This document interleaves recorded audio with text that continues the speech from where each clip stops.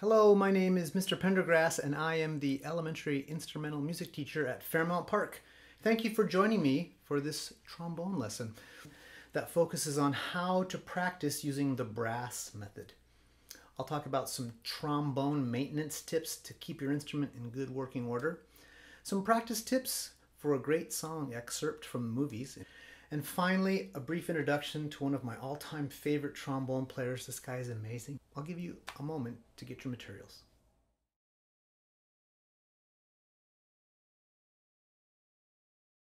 The first thing we want to do is tell you about a word that you can use to help you think about practicing.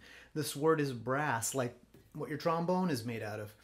And each letter in the word brass stands for a concept or idea we'll use to help you practice.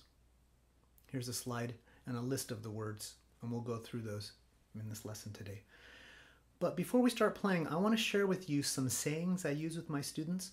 I've realized that after 20 years of teaching instruments, they sometimes just fly out of my mouth without any explanation and may be confusing or just weird. The first one is this You are the boss of your instrument. What do I mean by this? It means you have the tools, brain power, and stuff to play your instrument. At this stage, I'm assuming you have a good foundation to play your trombone. It doesn't play you. It's a mental mindset, really. I sometimes see students pick up their instruments and think, I hope this works. I hope I don't make a mistake. Oh no, what if a weird sound comes out? I can't do this. Well, if you start off with the you are the boss of your instrument attitude, I really believe you will have more success. Does it mean you will play your instrument perfectly every time? No. But it's a way to begin with confidence and courage, traits every good musician must have to succeed. The second one is fill your instrument with warm, fast air. I'm sure you've heard your teacher say, blow more air, come on, play it louder. But what does that mean? Let me explain quickly by giving you two examples of blowing air or using your breath. The first one is the type of breath you might use to blow out a candle. Not too much, definitely cold, and very wimpy. This is a shallow breath, not the kind you want to use when you're playing your trombone. Now, the second type of breath is one you would use to fog a mirror or say a car window to create condensation and then you could write your initials. Now just try this. But notice what happens to your stomach just before you create that breath. Right? It expands and you push out this warm, fast air. This is the air you want to get the best sound on your trombone. Uh,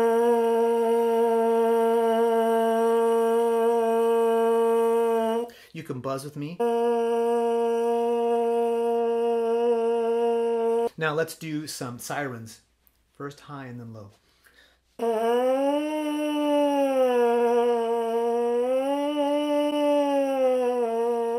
Finally, for your buzzing warm up, let's pick a song that we can just buzz on our mouthpiece. So let's do Mary Had a Little Lamb.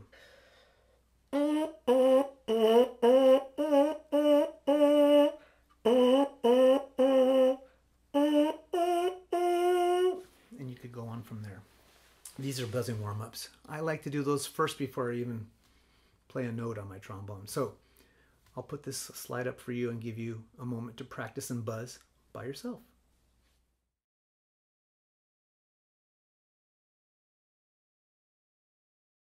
Now, before we put our mouthpiece on our trombone, I want to go over some basic trombone maintenance you can do at home to keep your trombone in good working order.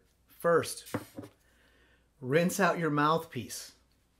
Take a look inside there. It might be kind of gross. If you have a mouthpiece brush, use it. If not, rinse it out with warm water and soap. Get rid of any gunk that might be in there. Secondly, don't play after eating.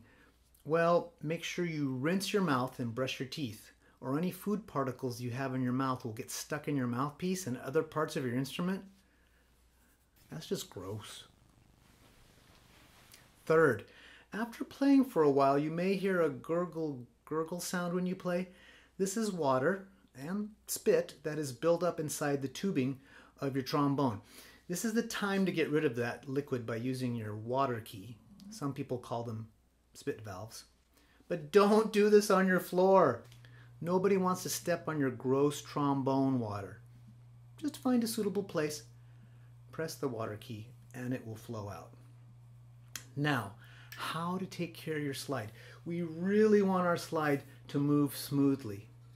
So you've got to take care of it. It's, it's really the only thing you have to change pitches other than your lips. So trombone players, we got to take care of our slides. That means never setting your trombone down on the slide because any kind of weight on here will wreck it.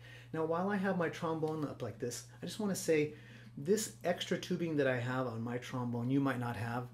This is called an F attachment and it just allows me to have an extra set of tubing. It's kind of an advanced trombone. But my trombone works just like yours. I blow on one end. So let's get back to talking about our slide. I want to show you a way that you can make your slide really slick.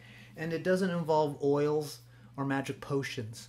It involves slide cream, which you might have in your case, and a little water. That's it. So what I like to do first is take my bell off of my trombone, set it someplace safe, probably in your case is the best place. Then what I do is I pull out my slide and here's what you get. Be careful of these two parts here because you don't want them to get bent. Then I wipe off any gunk that I have on there with a paper towel or a regular towel. Then I very carefully put slide cream all up and down this part of the slide that has the two open things. This other this other part where your water key is over here, just set it down and be careful with it. And I lightly coat my slide, the silver part, with a light coating of slide cream. Don't gunk it up, just a little bit, because what you're doing is you're gonna spray some water and the water will bead up on that cream and that is the best lubricant for your slide for it to move really quickly. Now in this picture you're seeing me use a water bottle because my spray bottle stuck at school, but you could use a spray bottle or anything. You could just sprinkle water with your fingers on there. Once you've got the water beating up on there, you will have a slide that moves so fast. Make sure it doesn't fly out from your hand when you've got it. That is the best way. Take care of your slide. Now finally, never, never, never set your trombone down where it's resting on the slide or in a chair, it's going to get wrecked.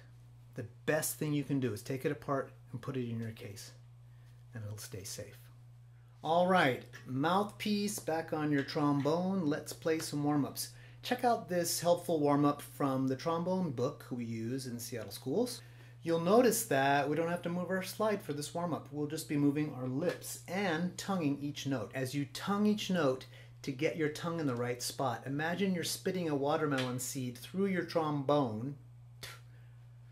If you combine this feeling with warm, fast air uh, I mentioned earlier, hopefully it will sound like this. One, two, three, four.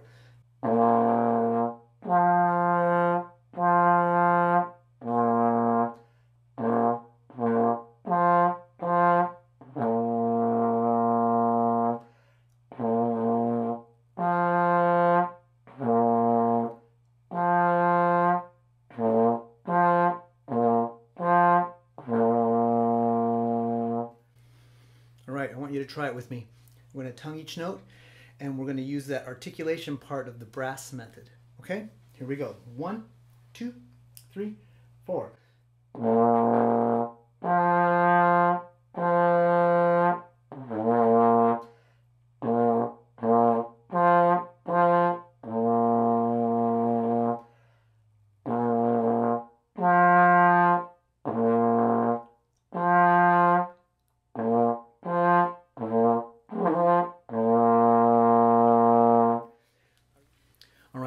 Take a moment by yourself and try playing it on your own.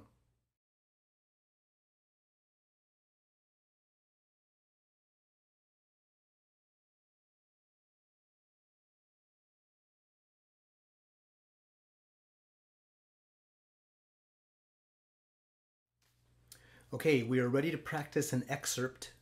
That's a short part of a bigger song called Imperial March from Star Wars. Here's what it sounds like. One, two, three, four.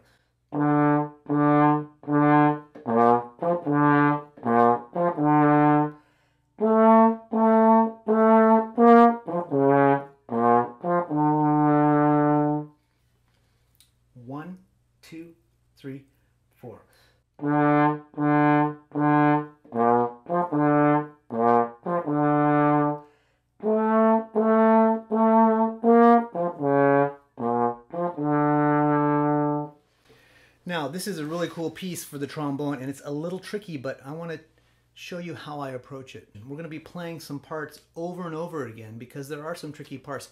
And as I look at this piece of music, I think the third measure has a tricky part there where we have to play that high B flat. So I know I'm going to need a lot of air for that.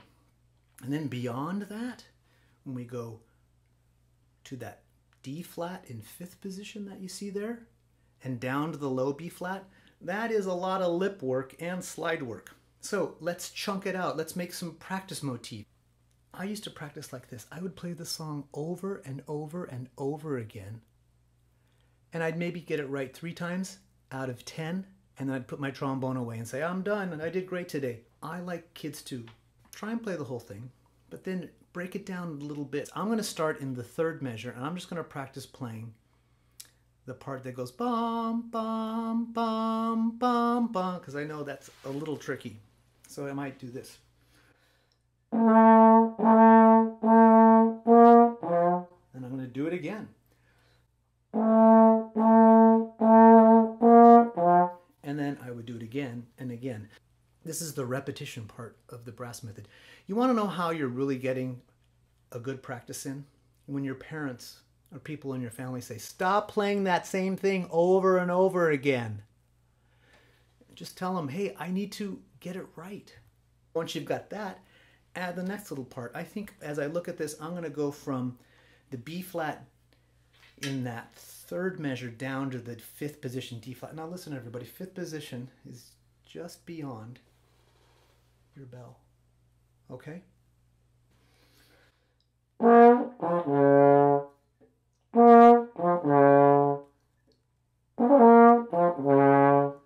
I would work on that. Then maybe I would back up a little bit and connect the next part. I used to practice and waste a lot of time because I used to think I have to play from the beginning all the way to the end, no stopping. It's okay to chunk it out. It's okay to chunk it out. So maybe I would do this part where I would go bum, bum, bum, bum. Let me try that part. So don't be discouraged if you can't get this on the first playing. I don't expect you to. But chunk it out Take some time to work on it now with your own special sections that you want to work on.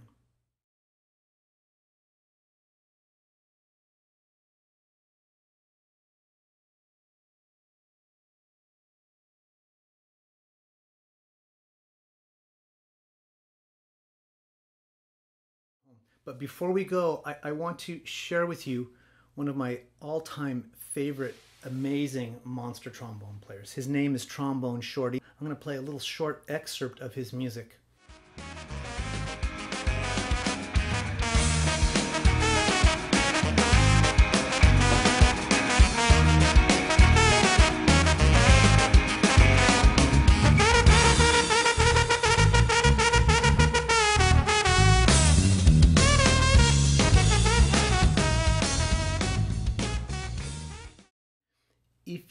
Want to learn how to play the trombone better, listen to professional players. Listen to music that has trombones in it. And when you find something you like, listen to it. Watch how they play. Watch how they hold their horn. Watch how they take a breath. Listen to the sound they make. If you can research on your own and find players that you like, this is how you become a better player. It's part of your education of being a great trombone player. So check out Trombone Shorty. There's a lot of other great trombone players out there, but listen to great music especially now that you have this time at home. And I hope you'll keep practicing getting better on your trombone each day. Thanks a lot.